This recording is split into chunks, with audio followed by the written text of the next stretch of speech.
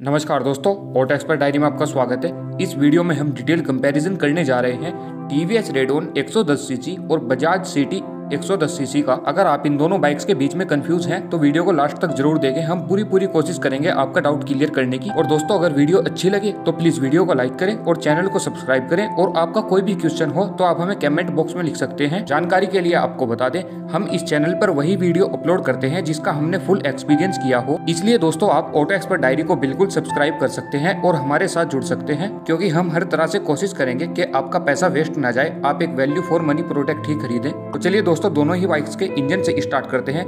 TVS radon में आपको 110 CC का four stroke single cylinder to wall air cooled engine मिलता है, जो 8.19 पीएस जनरेट करता है 7350 आरपीएम पर। 8.7 एनएम टॉर्क जनरेट करता है 4500 आरपीएम पर। इस बाइक में आपको फोर स्पीड मैनुअल गेयरबॉक्स मिलता है।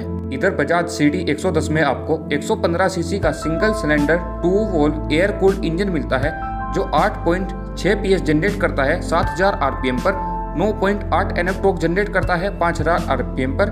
इस बाइक में भी आपको फोर स्पीड मैनुअल गेयरबॉक्स मिलता है। तो वैसे तो दोस्तों, इंजन के मामले में दोनों ही बाइक्स में कोई ज़्यादा बड़ा अंतर नहीं है, लेकिन हल्की सी सिटी 110 रेडोन से आगे है। बात कर लेते हैं दोनों बाइक के डायमेंशन की। सिटी 110 की विर्थ है सात सौ तिरपन एम एम, लेंथ उन्नीस सौ अट्ठानवे एम एम, हाइट एक हज़ार अट्ठानवे एम एम, सीट हाइट आठ सौ दस m m, ground clearance 170 m m, wheel base बारह सौ पिचासी m m, kerb weight 118 kg fuel tank capacity साढ़े दस लीटर। इधर बात करें टीवीएस रेडोन के डायमेंशन की विर्थ है सात सौ 705 एम लेंथ दो हज़ार 2025 एम हाइट एक हज़ार 1080 mm व्हील बेस बारह सौ mm fuel tank capacity 10 litre, ground clearance 180 mm weight है बाइक का 118 केजी। तो दोस्तों, वैसे तो डायमेंशन में भी कोई ज़्यादा बड़ा डिफरेंट नहीं है, लेकिन यहाँ पर भी सी टी रेडोन से हल्की सी आगे है। इसमें आपको आधा लीटर फालतू पेट्रोल डालने की कैपेसिटी मिलती है और व्हील बेस और विर्थ भी हल्का सा रेडोन से ज़्यादा मिलता है। अब बात कर लेते हैं दोनों बाइक्स के टायर साइज़ का। सी टी के फ्रंट में आपको दो पिछहत्तर आर सत्रह का और रियर में तीन पॉइंट ज़ीरो ज़ीरो आठ सत्रह का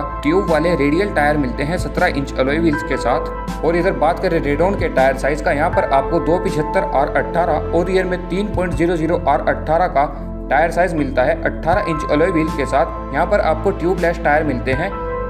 110 से रेडोन में आपको एक इंच बड़ा अलॉय व्हील मिलता है, उसमें आपको 17 इंच मिलता है, यहाँ पर 18 इंच मिलता है। बाकी टायर साइज़ दोनों बाइक्स में सेम है। और दूसरा सबसे बड़ा डिफरेंट है सिटी 110 में आपको ट्यूब वाले टायर मिलते हैं रेडोन में आपको ट्यूबलेस टायर मिलते हैं। ये भी कॉस्ट कटिंग की गई है, क्योंकि वो एक चीप प्राइस में बाइक बनाई गई है और रेडोन एक मज़बूत बाइक है। अब बात करें दोनों बाइक्स के ब्रेकिंग का सिटी 110 के फ्रंट में आपको 130 mm और रियर में 110 mm का ड्रम ब्रेक्स मिलते हैं विद सीबीसी टेक्नोलॉजी यानी कॉम्बी ब्रेकिंग सिस्टम और इधर रेडोन में आपको दो वेरिएंट्स मिल जाते हैं, पहला फ्रंट और रियर 130 mm ड्रम ब्रेक और दूसरा फ्रंट में डिस्क ब्रेक रियर में ड्रम ब्रेक लेकिन सिटी 110 में आपको कोई भी डिस्क ब्रेक वाला वेरिएंट नहीं मिलता। बात करें दोनों ही बाइक्स के सस्पेंशन सेटअप का। रेडोन के फ्रंट में आपको telescopic oil damped shock absorber और रियर में five step adjustable hydraulic shock absorber मिलते हैं। और इधर सिटी 110 के फ्रंट में आपको हाइड्रोलिक टेलीस्कोपिक 125 mm ट्रेवल और रियर में स्प्रिंग इन स्प्रिंग सस्पेंशन मिलते हैं। तो भैया यहाँ पर बिना किसी डाउट के और बिना किसी कंफ्यूजन के टीवीएस रेडोन में आपको सस्पेंशन बहुत ज़्यादा बेहतर मिलता है। सिटी 110 से अब बात कर लेते हैं दोनों बाइक्स के इलेक्ट्रिकल्स और फीचर्स का। उसके बाद बात करेंगे आपको कौन सी बाइक दोनों में से लेनी चाहिए। सिटी 110 के फ्रंट में आपको हेलोजन हेडलाइट मिलती है। हेलोजन टेल लाइट मिलती है। हेलोजन में ही इंडिकेटर मिलते हैं। बात करें इधर रेडोन के इलेक्ट्रिकल्स का, यहाँ पर आपको हेलोजन हेडलाइट मिलती है। हेलोजन में ही टेल लाइट मिलती है। अब बात करते हैं दोनों बाइक्स की टॉप स्पीड का। वैसे तो कंपनी क्लेम करती है 90 के लेकिन दोनों बाइक्स 95 के तक चली जाती हैं। और सिटी 110 से आपको लगभग 70 के और टीवीएस रेडोन से आपको 68 टू 70 के माइलेज आराम से मिल जाता है। अगर आप इन दोनों बाइक्स को सही से राइड करेंगे, तभी इतना माइलेज मिल पाएगा। क्योंकि भाई, ये दोनों बाइक कंप्यूटर सेगमेंट की बाइक है।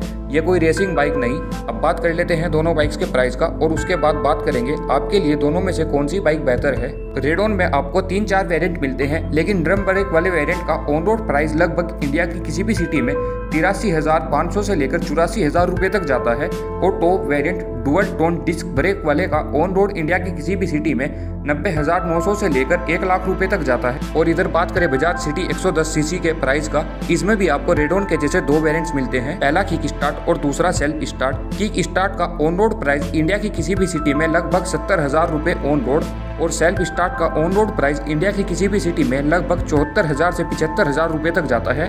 दोस्तों, अगर आपका बजट कम है और आपको लुक्स स्पीड ये सब ज़्यादा मैटर नहीं करता। आपको एक नॉर्मल बाइक चाहिए जिसको आप नॉर्मल स्पीड में डेली यूज़ कर सकें और अपना काम चला सकें तो आपको बिल्कुल सी टी की ओर जाना चाहिए, क्योंकि उसमें आपको ठीक ठाक ही लुक मिल जाते हैं और कम प्राइस में आपको बाइक भी मिल जाती है। लेकिन हाँ दोस्तों, अगर आप बाइक को थोड़ा तेज स्पीड में चलाते हैं और आपको डिस्क ब्रेक भी चाहिए और उसके साथ बाइक के लुक्स भी चाहिए तो आपको बिल्कुल टीवीएस रेडोन की ओर जाना चाहिए, क्योंकि वो सी टी से कहीं ना कहीं मज़बूत भी है। और सीधी सी बात है, जब प्राइस ज़्यादा है तो मज़बूत तो होगी ही। तो दोस्तों, दोनों ही बाइक्स का डिटेल कंपैरिजन करने के बाद जो निचोड़ निकला है, उसमें टीवीएस रेडोन बिल्कुल विनर है।